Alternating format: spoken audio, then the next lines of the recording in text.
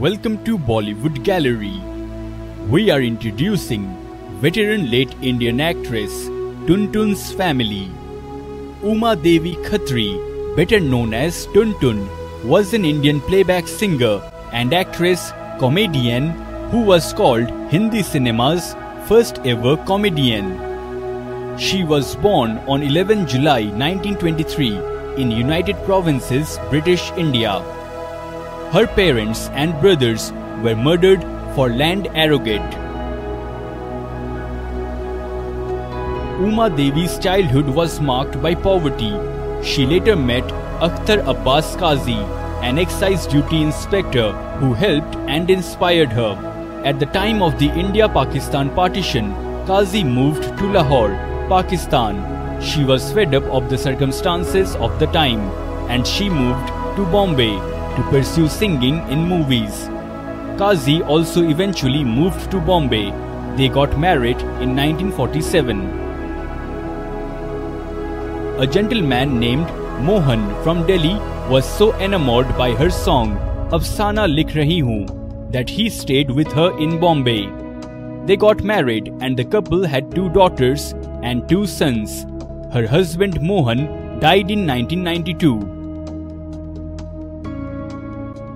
Tuntun arrived in Bombay at the age of 23, having run away from home, and knocked on composer Naushad Ali's door. She told him that she could sing and that she would throw herself in the ocean if he did not give her a chance. He auditioned her and hired her on the spot. She made her debut as a solo playback singer in Nazir Wamik Azra in 1946. She soon signed a contract with the producer-director A.R. Kardar, who used Naushad as music director and went on to make a place for herself amidst music stalwarts like Noor Jahan, Raj Kumari, Khurshid Bano, and Zohrabai Ambale Wali.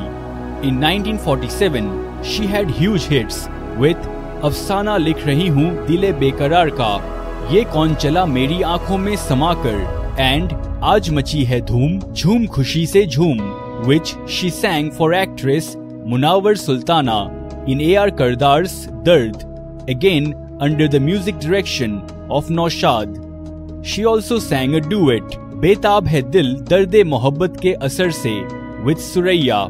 In her career spanning five decades, she acted in about 198 films in Hindi Urdu and other languages like Punjabi, etc., pairing with top comedy actors of her time, such as Bhagwan Dada, Agha, Sundar, Mukri, Dhumal, Johnny Walker, and Keshto Mukherjee.